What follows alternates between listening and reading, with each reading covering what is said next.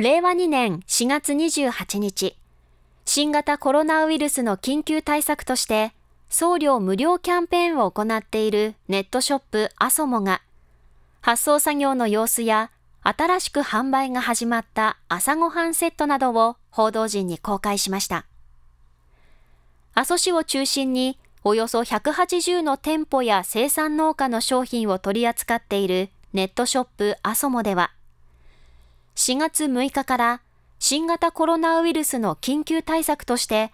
全国送料無料キャンペーンを展開しており、SNS などの反響も大きく、多い日で1日におよそ600件の注文があるということです。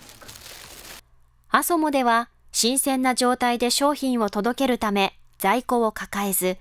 その日発送する商品は午前中のうちに店舗や生産者を回り集荷場に集め、スタッフが一つ一つ梱包を行い発送しています。また、今回のキャンペーンで注文が殺到していることから、スタッフを増やし、発送作業をスムーズにできるよう広い場所に移し行っています。現在は航空便の減便などの影響もあり、配送に遅れが生じることもありますが、一日も早くお届けできるようにとスタッフが休日も返上し発送作業に当たっています。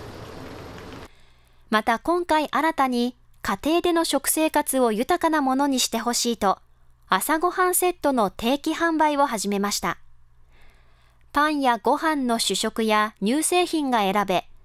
ベーコンや新鮮野菜が入った朝ごはんセットが毎週届きます。今なら半年間送料無料で、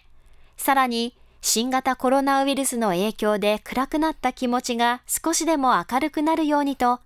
阿蘇のバラ一輪が毎回プレゼントされます。阿蘇もの送料無料キャンペーンは5月6日までとなっていて、詳しくは阿蘇ものホームページをご覧ください。